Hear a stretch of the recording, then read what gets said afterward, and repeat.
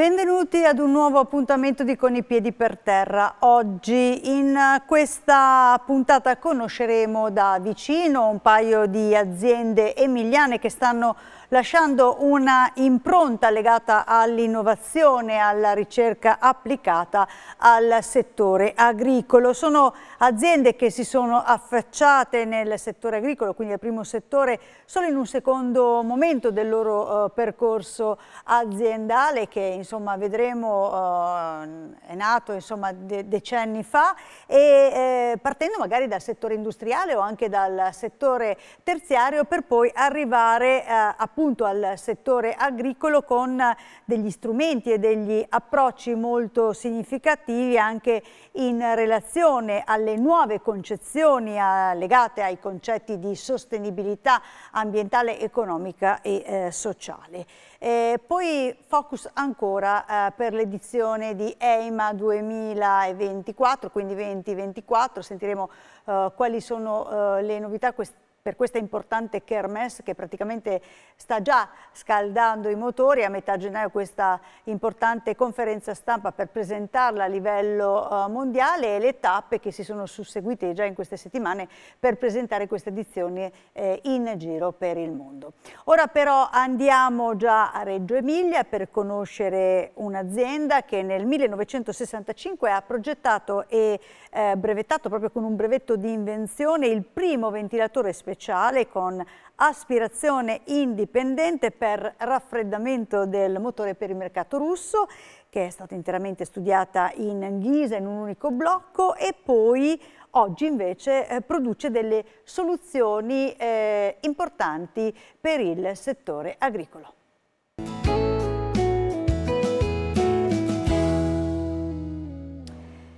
Parliamo di innovazione, di ricerca e di aziende che magari non sono partite proprio specificatamente per l'agricoltura, per il primo settore, ma che grazie alla loro esperienza, magari nel settore industriale e in altro, si sono poi applicate al primo settore. Lo facciamo oggi proprio con un'azienda eh, di Reggio Emilia. Eh, ci colleghiamo con Elisa Maffeo, che è Web Marketing Manager di Elevent Bank ben trovata Elisa. Sì, salve, buongiorno. Allora, noi stiamo cercando di fare un po' il punto per quanto riguarda le aziende eh, del primo settore eh, in agricoltura, perché chiaramente non si parla solo di eh, campi da coltivare, eh, di coltura, di frutticoltura, ma si deve anche parlare eh, di innovazione, si deve parlare di internet e si deve parlare di eh, ricerca. E noi oggi vogliamo proprio fare il punto con voi, perché la vostra è un'azienda che intanto compie 60 anni, ho compiuto 60 anni, poi avremo modo di eh, parlarne anche, un'azienda tipica a conduzione familiare con un made in Italy importantissimo che tra l'altro esporta eh, non solo eh, ovviamente in Europa ma in tutto il mondo. Allora, eh, cerchiamo di spiegare un po' che tipo di azienda è la vostra e soprattutto come si è applicata all'agricoltura. Allora, la nostra azienda eh, ha, ha, sede appunto a Reggio Emilia e a conduzione familiare eh, si incontrano tre generazioni. Noi produciamo ed esportiamo direttamente giranti assiali e accessori per la ventilazione agricola ed industriale. Abbiamo più o meno un 15% nel, nel settore de, dell'industria, un 15% nel settore dell'allevamento e il restante 70% nell'agricoltura. Il nostro obiettivo è quello di dare prodotti innovativi nuovi, ma anche competitivi sul mercato. Quindi eh, noi crediamo molto nel rapporto agricoltore nel senso che eh, noi ci affidiamo molto all'esperienza degli agricoltori, nel nostro caso. E con questa azienda è partito il mio nonno, Silvano Spaggiari, tanti anni fa, e poi abbiamo continuato noi, insomma ci sono io, mia mamma, eh, mio padre e i nostri collaboratori. Ehm... Ecco, ti fermo, ti fermo perché entriamo proprio sì. nel, nell'ambito per capire che cos'è che voi producete eh, per le aziende agricole, perché eh, non abbiamo ancora detto quali sono poi i prodotti, perché voi siete partiti 60 anni fa producendo che cosa? Ventilatori, ventole, il mio nonno è partito tanti anni fa, più di 60 anni fa, con i primi ventilatori che venivano spediti in Russia ed erano un corpo unico ed erano anche molto pesanti. In, in, ghisa, interamente in ghisa. Quindi poi con gli anni ci siamo evoluti anche come materiali perché abbiamo il nylon, abbiamo l'acciaio, inox, abbiamo il ferro, quindi insomma è diventato tutto molto più fluido anche come lavoro. Eh, noi abbiamo eh, investito molto ne, ne, negli ultimi anni sulla ricerca, eh, soprattutto appunto collaborando con gli utilizzatori eh, abbiamo capito con mano l'esigenza e abbiamo modificato il nostro prodotto per renderlo perfetto. Prodotto, facciamo un esempio, voi praticamente eh, producete i ventilatori e eh, tutto il materiale assiali. che assiali e mh, mm, servono praticamente, sono strumenti anche per l'antibrina, facciamo un esempio? Allora, lo strumento per l'antibrina è stata un'invenzione, nel senso che è un sistema brevettato con marchio CE, interamente made in Italy ed è composto da due ventilatori opposti eh, di grandi diametri eh, al, all'interno di due reti, viene eh, direttamente spedito da noi perché noi abbiamo sia la parte della produzione che la parte del montaggio e della spedizione direttamente da qui, dalla nostra sede.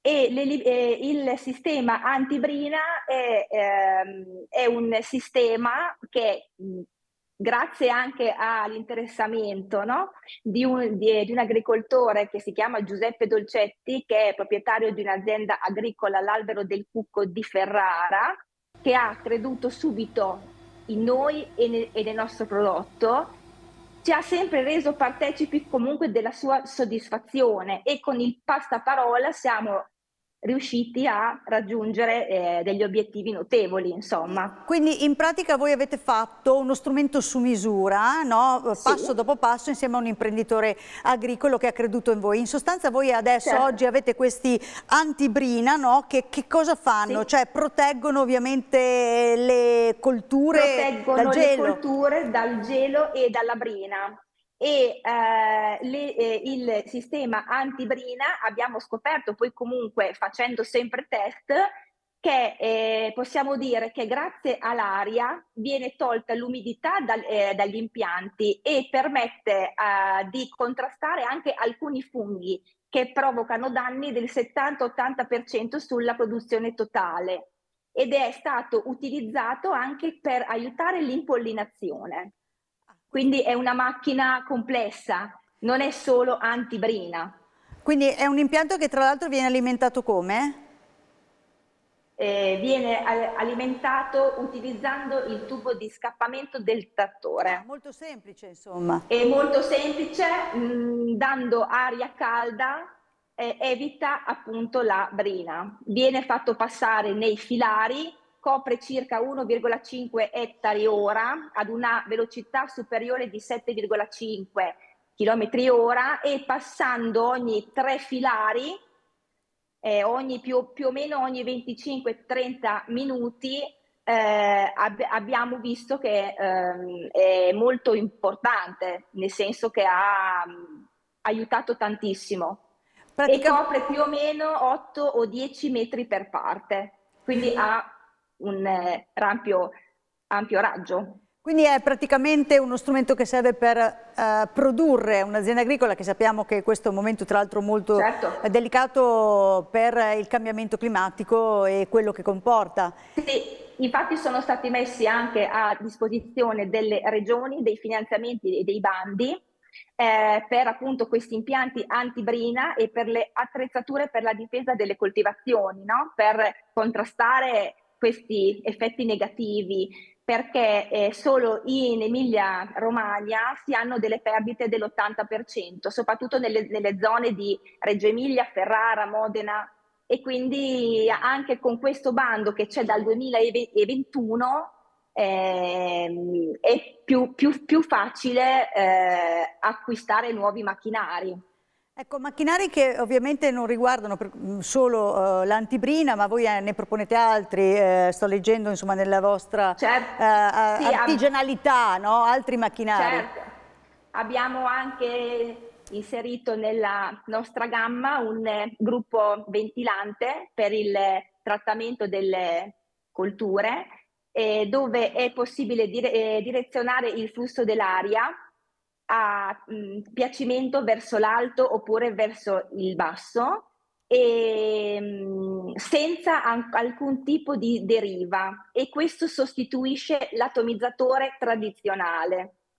È ehm, prodotto in un corpo unico, viene montato direttamente eh, nel mh, mm, trattore, nella parte posteriore e, eh, e, e questo dà meno potenza eh, con meno consumo carburante e quindi meno inquinamento anche per mh, mm, inquinamento. Certo, per, per, no, no, per andare ovviamente incontro alle certo. esigenze, stiamo parlando ovviamente di eh, sostenibilità, che è quello che ormai è una parola che è entrata ormai nell'uso comune di eh, tutti noi. Questo però ci dà anche là per capire che non solo l'agricoltura ma anche l'allevamento, perché Basandosi anche, anche, su quanto detto oh, c'è la possibilità anche di eh, così, aiutare gli allevatori con questi nuovi strumenti, è così? Certo, nell'allevamento abbiamo delle giranti che hanno un'elevata portata, quindi vanno dai 2 ai 7 metri, sono state progettate per regolare la temperatura e l'umidità nei locali ampi senza creare correnti fastidiose sia per l'animale che per eh, l'utilizzatore. Eh, hanno motori Brashler, quindi compatti e molto mh, mm, gestibili, e, ehm, hanno dei consumi ridottissimi e un basso inquinamento acustico.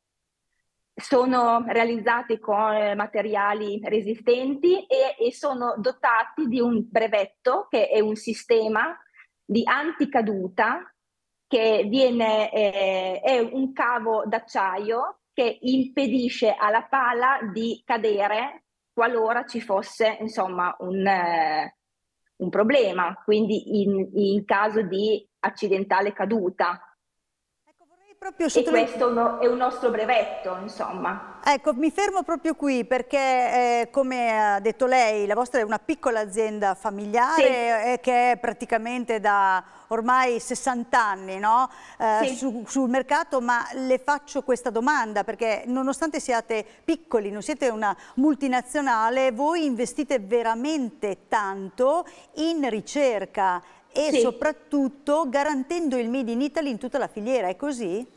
Sì, sì, abbiamo tutto Made in Italy, i nostri fornitori sono tutti a chilometro zero, quindi ab abbiamo mantenuto la nostra reggianità. e sì, noi investiamo tanto, investiamo tanto perché ehm, i, le, i, periodi cambiano, eh, siamo sempre più veloci eh, e dobbiamo sempre essere competitivi, ma anche sempre all'avanguardia.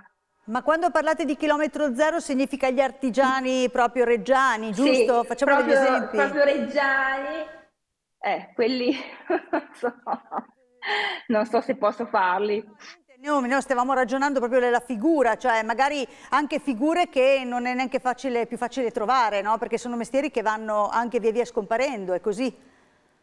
Sì, certo, noi abbiamo i nostri stampi eh, progettati da noi eh, e ci appunto mh, eh, serviamo eh. di eh, stampatori locali proprio a, a livello proprio di zona industriale, ma che, addirittura. Ma che cosa significa in termini di risorse? Perché immaginiamo che ovviamente significa un grande investimento, è un investimento che poi alla lunga ovviamente immaginiamo ripaghi. Da, certo, certo, quello sì perché c'è eh, il contatto umano che eh, si è un po' perso eh, e in, in, più ci permette anche di modificare proprio all'istante certe cose, nel senso che mentre c'è una lavorazione in atto veniamo chiamati e, e automaticamente sistemiamo la situazione e quindi ci permette proprio di vedere eh, sul campo e di, e di capire se eh, stiamo andando verso una direzione giusta oppure no. Ecco, queste attrezzature vengono poi spedite anche in altre parti del mondo o solo gli italiani le richiedono? No, no, no assolutamente. Noi eh, esportiamo direttamente da qui in più di 32 paesi europei ed extraeuropei. Eh, abbiamo mh, mm, per dire la Spagna, il Cile, Australia, eh, Nuova Zelanda, eh, Emirati Arabi, Questo, ehm, Italia sicuramente, Am America. Questo sì. conferma che comunque il Made in Italy nel, in un settore come questo, proprio delle costruzioni, è, è davvero molto ricercato. Il Made in Italy è, ripaga tanto, sì, ripaga tanto. Viene, viene proprio cercata la eh, lavorazione artigianale, cioè viene, viene, cercato questo prodotto di nicchia più che mh, industrializzato a livelli insomma eh, nel mondo. Quindi serve comunque molto, sì. Allora, volevo... Noi ripaga molto. Facciamo un passo indietro solo per capire, perché vorrei raccontare brevemente la storia di questa azienda eh, reggiana, tipicamente eh, a conduzione familiare, no? con il nonno sì. che nel 1965 sì. progetta e brevetta, no? sì. trova questa invenzione. Certo, il mio nonno, eh, che per me è un orgoglio, perché oltre ad essere una persona fantastica e, e un lavoratore instancabile, perché ha 90 anni e ancora presente qua in azienda, quindi non riusciamo a lasciarlo a casa. È una persona di valore, è una persona nata in una famiglia contadina reggiana, Ehm, e, ed una persona che ha attraversato insomma, un periodo storico anche difficile il dopoguerra e quindi lui mi racconta sempre eh, che quando lui era piccolo eh, c'era il bisogno di creare, di inventare, di arrangiarsi per avere una, eh, una una possibilità per avere anche degli strumenti di aiuto nel lavoro in campo e quindi è tutto partito dal bisogno, dalla necessità di creare. Lui pratic- cosa che adesso insomma si è persa un po'. Cioè lui praticamente si inventa questo ventilatore speciale, giusto? Che ha sì. questa, sto leggendo, eh, con un'aspirazione sì, sì, indipendente per il raffreddamento del motore, come aveva detto. Certo. Quindi capisce che c'è questa esigenza, d'altra parte siamo, lo sappiamo, insomma l'Emilia Romagna non a caso è certo. anche detta la Motor Valley, quindi possiamo farlo rientrare benissimo in questo, in questo contesto e viene fuori certo. l'emilianità che è tipica anche nel primo settore in agricoltura, insomma in motore. Certo. E da lì parte tutta la vostra storia aziendale che continua, continua ancora. E da lì continua ancora, dopo è, è, è comunque partita, è entrata in azienda mia madre, si chiama Claudia, poi c'è mio padre, poi sono entrata io dopo, ma eh, diciamo che siamo tutti nati nell'azienda. Siamo già una terza generazione che non è, che non è poco, insomma. Siamo e quindi, una terza generazione, eh, sì, eh, sì. Allora, dicevamo adesso, eh, ce l'aveva già accennato all'inizio, praticamente voi investite anche in, ma in, materiali differenti e insomma significa anche fare ricerca, no? Nylon, vetro, ha detto, con, delle sì. profil con delle profilazioni specifiche. State lavorando anche a certo. cose nuove, se ce lo può dire?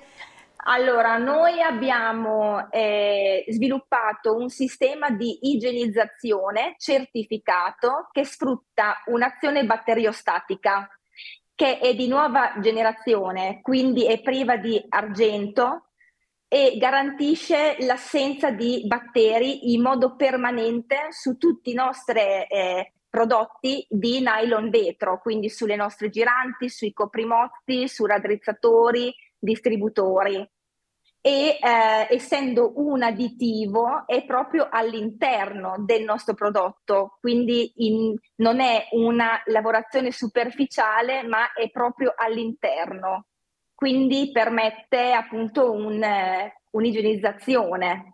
E ehm, la, insomma al, al, momento in agricoltura ci siamo noi, insomma, quindi è un, è un vanto anche questo. Va bene, Elisa Maffeo, noi possiamo sì. praticamente concludere questa proprio intervista per conoscere queste realtà, realtà che sono significative proprio per il Made in Italy, che sono uh, a fianco no? degli imprenditori e soprattutto anche delle piccole imprese. Eh, noi ovviamente la salutiamo, magari ci Grazie. aggiorneremo e vedremo eh, se ci sono delle novità, la, la sentiremo, la contatteremo presto, se ci vuole dire qualcosina in più, noi la, altrimenti la salutiamo qua. Ma io direi di aver detto già tutto, insomma, quindi grazie, direi che può. Grazie e buon lavoro Elisa grazie, Maffeo e naturalmente grazie. tutta l'azienda e buon lavoro.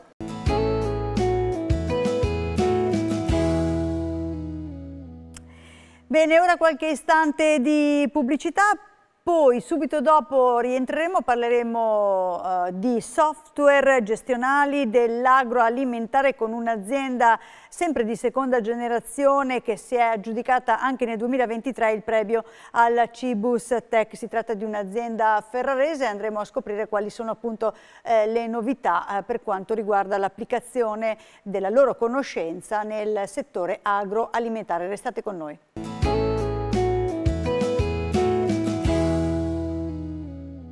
Ben ritrovati con i piedi per terra oggi. Continuiamo ad occuparci ancora di aziende emiliane che affiancano l'agricoltura e il settore eh, primario, in questo caso con la digitalizzazione che è un processo davvero utile per la tracciabilità delle aziende che operano appunto nel settore della produzione, della trasformazione dei prodotti alimentari. Andiamo a Ferrara a conoscere un'azienda che è attiva da oltre 40 anni e mm, nel settore tecnologico altamente qualificato e andiamo a vedere appunto eh, l'applicazione per quanto riguarda il settore dell'agroalimentare.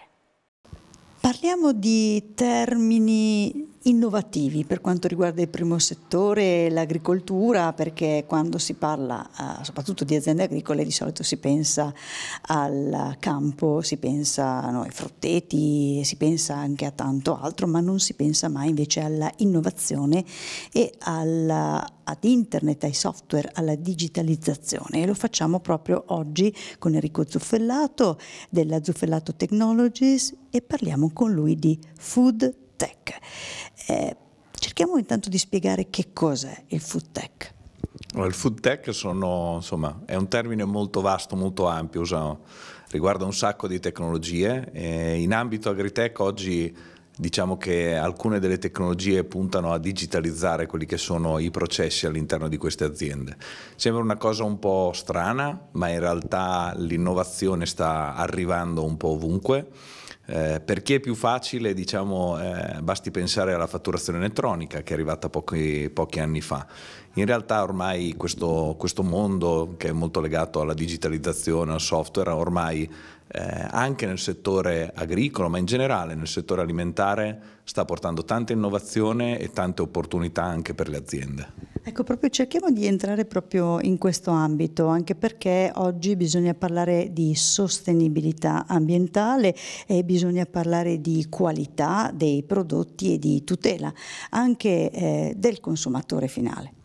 Beh, oggi più che mai no? il Made in Italy, i prodotti alimentari italiani sono e devono essere una garanzia di qualità, di sicurezza e noi con le nostre tecnologie aiutiamo le aziende a certificare questi dati in modo che, che, questo Made in Italy, questa qualità giri nel mondo con eh, la possibilità di avere delle certificazioni, di avere un dato certo, di avere insomma tutte le caratteristiche che servono per dimostrare chi siamo nel mondo, chi è l'Italia nel mondo e che prodotti può proporre al mondo. Quali sono oggi quindi le sfide eh, di, del settore, nel settore agroalimentare e come proprio eh, la food tech può essere d'aiuto?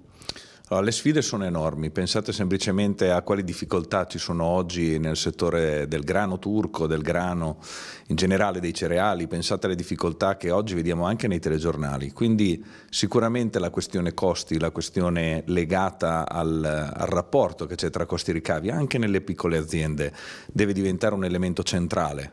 Noi aiutiamo le aziende a monitorare questi processi, a renderli effettivamente operativi, ma soprattutto a definire costi e ricavi di queste, di queste aziende che evidentemente avranno sempre più bisogno di fare attenzione a questi dati. Un'azienda come la vostra è sempre stata in prima linea per la ricerca e l'innovazione, oggi ovviamente anche l'intelligenza artificiale eh, si introduce di fatto eh, nel lavoro di tutti i giorni anche per le imprese agricole. Pensate a quale innovazione è stata l'intelligenza artificiale. Oggi effettivamente è una tecnologia disponibile a tutti, in tutti i settori. Magari non abbiamo ancora un contatto diretto con questa intelligenza artificiale, molti di noi non hanno ancora avuto a che fare. In realtà chi come noi cerca di innovare, soprattutto nei prodotti, nelle tecnologie, sta già studiando quali possono essere gli approcci e sicuramente l'intelligenza artificiale, ma anche, fatemi dire, la sensoristica, quindi tutto ciò che è IoT, Internet of Things si chiamano, eh, è ormai da anni una realtà anche nei settori agritech.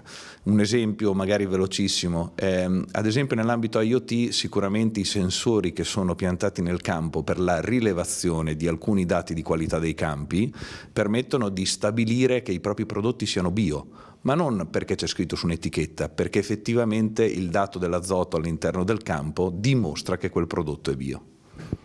Voi da questo punto di vista siete stati anche premiati recentemente con uno strumento che avete, ne proponete tanti, ma insomma recentemente proprio a Parma al Cibus Tech siete stati eh, premiati con uno strumento. Di che cosa si tratta? Allora, il nostro strumento di fatto è la nostra piattaforma software che si chiama Track, è una piattaforma software adatta un po' a tutto il settore alimentare, quindi non solo al settore agricolo ma anche all'ambito industriale che oggi nel settore, in particolare nel settore alimentare è molto sviluppato. Siamo stati premiati con un awards per la tecnologia, l'abbiamo fatto al Cibus Tech a Parma che si è concluso proprio lo scorso anno. E per noi quello è stato veramente una, un riconoscimento, un riconoscimento per quello che abbiamo fatto, per quello che abbiamo sviluppato e per quello che abbiamo anche intenzione di fare. L'intelligenza artificiale di cui parlavo prima è uno degli elementi del nostro futuro. Da questo punto di vista, eh, che cosa dire? È un'azienda piccola, lei ha accennato prima alle grandi aziende, ma ha sottolineato che anche le piccole aziende non potranno fare a meno di fare questo passo. Come spiegargli a che cosa può servire uno strumento come questo proprio nella quotidianità? La quotidianità è ormai è legata tantissimo a quello che si fa appunto tutti i giorni, sicuramente come dicevamo prima la qualità del prodotto, la selezione del prodotto, la sua certificazione, quindi noi cerchiamo di semplificare la vita non solo alle grandi aziende ma anche alle piccole che veramente hanno bisogno di emergere e sappiamo benissimo nel settore alimentare quanto sia difficile eh, pensate a quanto è difficile per una piccola azienda eh, diciamo, promuovere un nuovo brand di pasta. È una cosa molto complicata eh, perché è in mano a grandi brand che possono essere Barilla piuttosto che e, e quindi noi li aiutiamo no, a determinare la loro qualità e il loro posizionamento sul mercato dei loro prodotti. Questo è quello che vogliamo aiutarli a fare. C'è ovviamente anche il consumatore, con questi processi viene tutelata anche la qualità per il consumatore finale, così? Ma voi immaginate che in Italia c'è la più stringente normativa in ambito eh, di prodotto alimentare, qualunque esso sia, eh, intendiamoci. E questa cosa è fondamentale proprio perché al di là della normativa in sé dimostra quanta attenzione ha l'Italia verso i suoi prodotti, quante le aziende italiane ci tengono al loro prodotto e questo se volete è una cosa da esportare nel mondo. Noi dobbiamo aiutarli a farlo con dati certi, con una certificazione di processo, con un software che li aiuti a fare questo tutti i giorni. Voi non lavorate solo con eh, l'Italia ma anche con altri paesi? Sì, noi lavoriamo anche all'estero, tenete presente che moltissime aziende anche estere oggi vogliono importare ed esportare verso l'Europa e questa cosa è necessaria proprio perché la normativa europea è molto stringente, quella italiana ancora di più. Quali possono essere quindi le opportunità rispetto a quanto abbiamo detto sino ad ora?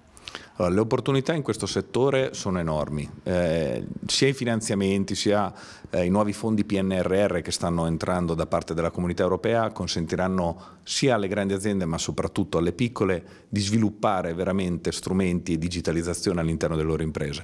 Io credo che se siamo tutti in grado di cogliere queste opportunità che arrivano dall'Europa ma anche dal nostro governo, sicuramente queste aziende innoveranno, miglioreranno il loro processo produttivo e vedrete che avremo sicuramente un futuro molto bello e magari anche con i piedi per terra. Ora parliamo di EIMA 2024 perché gli eventi di lancio della Kermesse mondiale della meccanica agricola che si terrà a novembre continuano a suscitare davvero interesse. Eh, dopo le presentazioni in varie città, appunto a partire da Bologna a metà gennaio, poi si sono svolte iniziative di presentazione a Doha, Saragozza e c'è stata anche la presentazione in India durante EIMA Agrimac con una conferenza stampa stampa che ha coinvolto eh, il direttore dell'ufficio ICE di Mumbai e la presidente di Federunacoma. Un evento che ha evidenziato l'importanza di promuovere la collaborazione tecnica e eh, commerciale tra l'Italia e gli altri paesi con una particolare attenzione ai eh, ai mercati emergenti asiatici e c'è molto attesa quindi per la prossima edizione di EIMA 2024 che eh, l'attesa insomma si parla di oltre 1500 case costruttrici già confermate e si prevede un'affluenza elevata di visitatori sia italiani che stranieri con 450 delegati ufficiali da 80 paesi e visitatori da 150 eh, paesi. L'evento si distinguerà per la vasta gamma di tecnologie esposte con più di 50.000 modelli che coprono tutte le esigenze agricole e saranno presenti naturalmente eh, sempre durante l'evento anche dei, dei momenti dinamici di presentazione che mostreranno queste tecnologie proprio in azione. Noi però eh, torniamo al momento di presentazione di questa Kermesse, una presentazione che si è tenuta appunto durante una, una conferenza stampa in streaming eh, in tutto il mondo. Andiamo a sentire appunto alcuni passaggi di questa conferenza stampa con eh, la Presidente Maria Teresa Maschio e il Direttore Generale Simona Rapastella. EIMA International accende da sempre un riflettore o più riflettori anche sui grandi temi eh, economici e politici che coinvolgono da vicino l'agricoltura e la meccanica agricola. E sappiamo che nei cinque giorni della rassegna non sono meno di 150 gli appuntamenti tra conferenze stampa, workshop, seminari in cui eh, si condividono informazioni, dati, trend, ma anche eh, il confronto. Abbiamo la possibilità di ascoltare il confronto differente dei vari paesi e come questo tocchi differenti strategie rivolte all'agricoltura. Un contributo prezioso viene sempre da quegli enti, le associazioni, le case editrici che scelgono EIMA per presentare i propri report e anche le proprie proposte in tema di agricoltura e di ambiente. Già con loro stiamo lavorando per mettere a punto un ricco calendario che toccherà anche l'edizione della nostra rassegna di quest'anno. Quello che oggi però vogliamo fare con voi è tracciare dei temi guida che la Federazione ha già programmato e che riguarderanno la realizzazione di convegni e forum internazionali. Li andiamo a scorrere velocemente insieme eh, un forum internazionale, ad esempio sull'agricoltura sostenibile, un progetto globale nel quale sarà possibile avere dettagli sulle esperienze europee in tema di transizione ecologica Ancora un convegno internazionale sul tema aree marginali e territori estremi, l'agricoltura di frontiera, incentrato sulla necessità di acquisire nuove superfici coltivabili proprio per soddisfare i fabbisogni crescenti dal punto di vista alimentare un convegno internazionale sulla gestione dei sistemi digitali, big data, flotte robotizzate, perché sappiamo che in questa direzione c'è da scovare anche quelli che sono i nuovi profili professionali e i nuovi percorsi formativi per l'industria,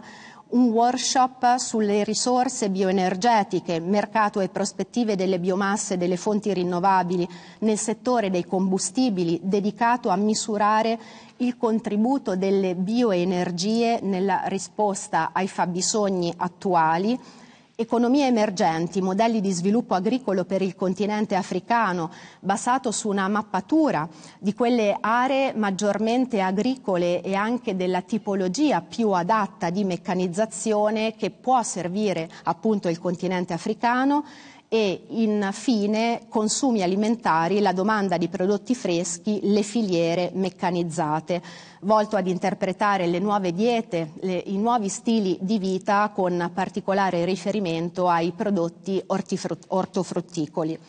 Il programma dei convegni di EIMA però non, è, eh, no, no, non eh, esaurisce tutte le iniziative eh, in programma dal punto di vista culturale della rassegna, ci avvaliamo anche eh, eh, dell'Assise del Clevo Bologna, è un organismo internazionale creato e voluto da Federonacoma quasi 30 anni fa, formato da esperti di meccanizzazione di tutto il mondo esperti che ehm, sono impegnati a descrivere i trend per le principali tipologie di mezzi, ma anche a suggerire in sede politica le priorità per la diffusione migliore della meccanizzazione in ogni angolo eh, del pianeta. Il programma dei convegni prevede anche delle iniziative dedicate, quindi con un appunto, programma dedicato a temi salienti che riguardano da vicino i saloni tematici di EIMA e quindi quelli dedicati alla componentistica, al gardening, all'irrigazione, al digitale e alle filiere bioenergetiche. L'Africa ha un potenziale enorme, è un continente veramente con un potenziale enorme, è da molti anni che se ne parla Sicuramente un continente complesso e difficile, eh, ma dobbiamo pensare che ehm, l'Africa detiene solo il 2% dei macchinari eh, a livello mondiale, quindi abbiamo ancora il 98% da fare. Eh, ovviamente adesso dobbiamo pensare che eh, parlando di Africa poi ci saranno sicuramente dei paesi dove è più semplice approcciare, è più semplice eh, pensare di, ehm, eh, di, di sviluppare eh, un certo tipo di lavoro, eh, sia perché vi può esistere un contesto economico-politico più facile, sia perché alcuni governi sono più propensi ad investire nella meccanizzazione, o meglio, capiscono che devono investire nella meccanizzazione se vogliono eh, produrre meglio e con più qualità.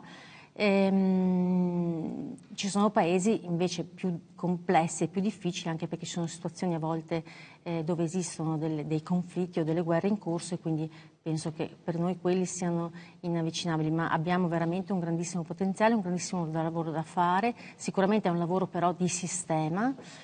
Eh, io credo che ehm, si possa fare eh, tantissimo nei prossimi anni, ci sono paesi penso soprattutto per esempio, al Nord Africa, eh, dove comunque ci sono delle previsioni, eh, penso al Marocco, alla, all'Egitto, alla Tunisia, all'Algeria, ci sono previsioni anche eh, del 5-6% di possibilità di incrementare eh, le vendite. Quindi eh, direi che è uno di quei continenti nei quali ci si può lavorare, ci si può ehm, e, e, si possono fare delle belle cose. Siamo tornati per quanto riguarda le, la, le materie energetiche a, a valori mh, prepandemici, quindi questo abbiamo avuto una diminuzione del costo del, dell'energia di circa un 20%, quindi sicuramente eh, questo aiuta. Eh, per quanto riguarda eh, gli altri costi delle materie prime, ehm, abbiamo avuto una, sicuramente alcune diminuzioni, ma mm, non moltissime, ma comunque eh, la situazione è sicuramente più stabile. Ehm, confidiamo che la situazione possa rimanere così o addirittura si possano eh, avere anche alcune riduzioni.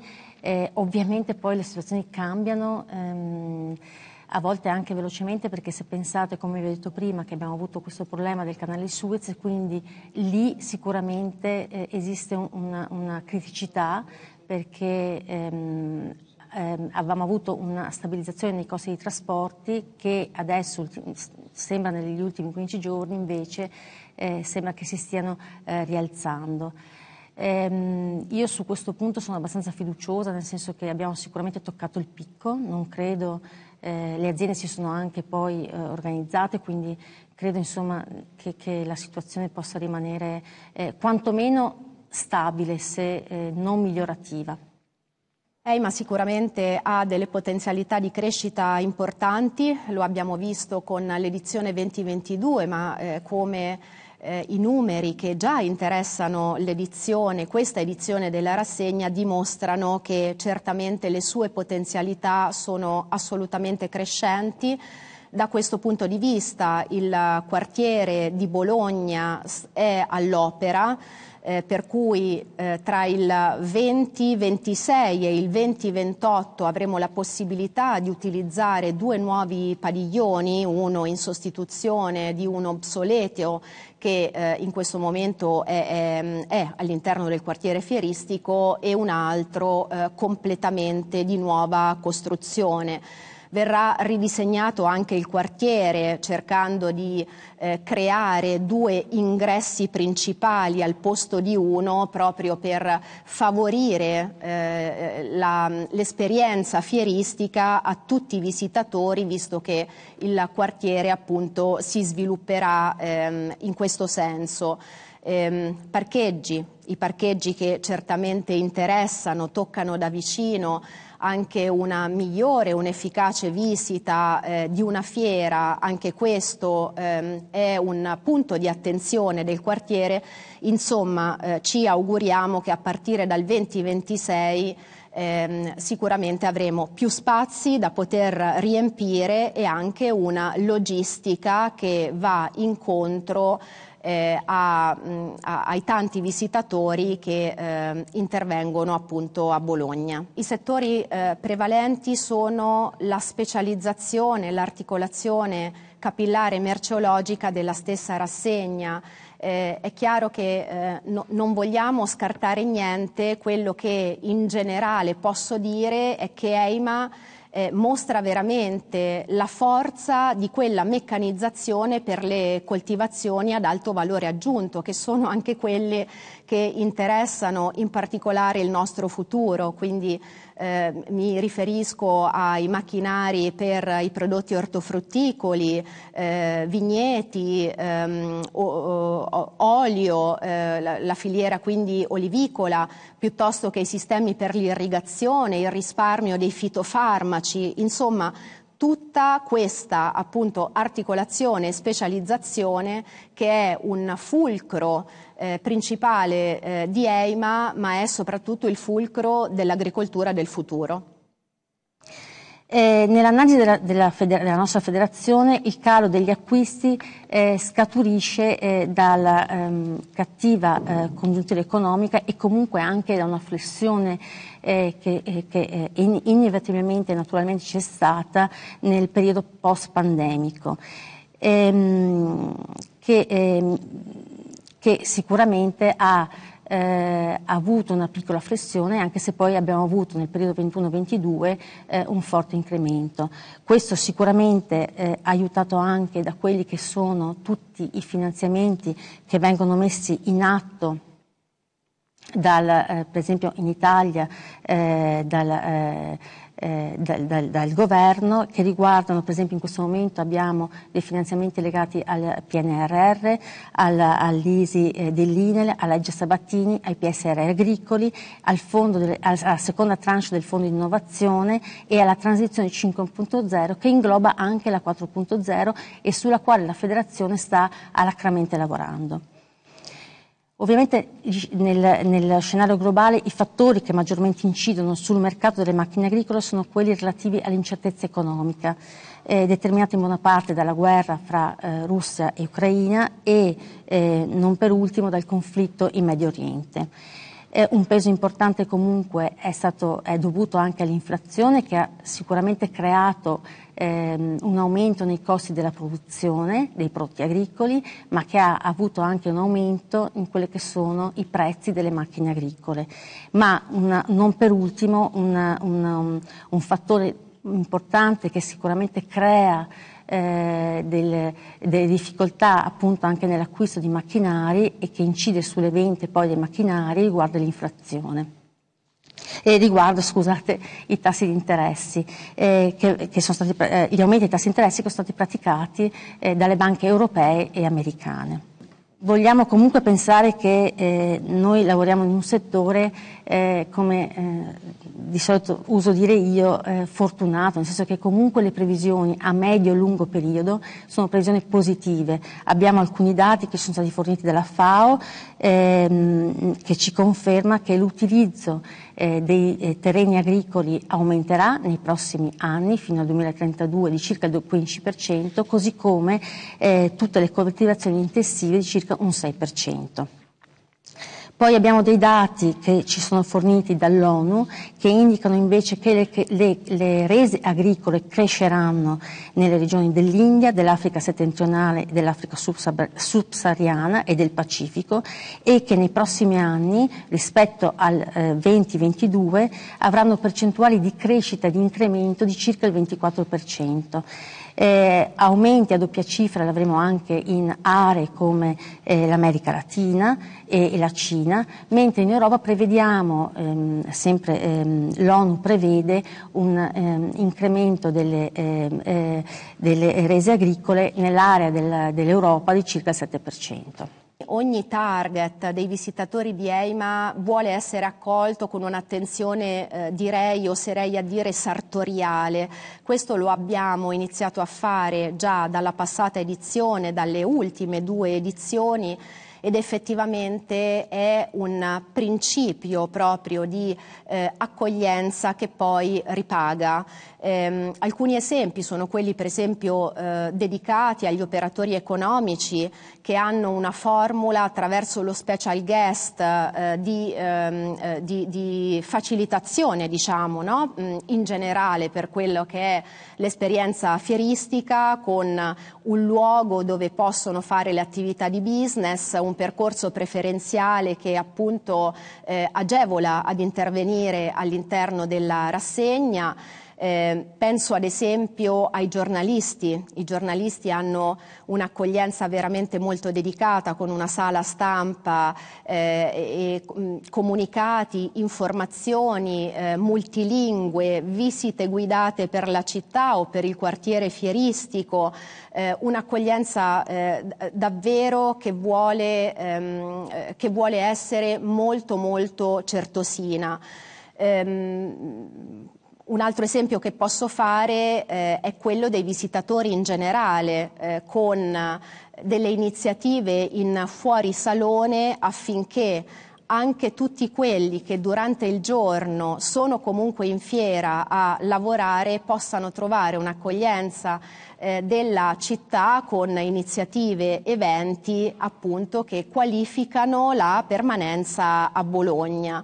Um, ultimo esempio che posso fare è quello della formazione. Sapete perfettamente che noi abbiamo creato un'area all'interno di EIMA, l'EIMA Desk, che accoglie eh, gli studenti eh, di ogni forma di scuola fino ad arrivare alle università eh, perché in EIMA si svolgono anche delle lezioni proprio universitarie. Ecco, anche questo target è sicuramente ehm, eh, accolto con dei percorsi che sono eh, completamente dedicati.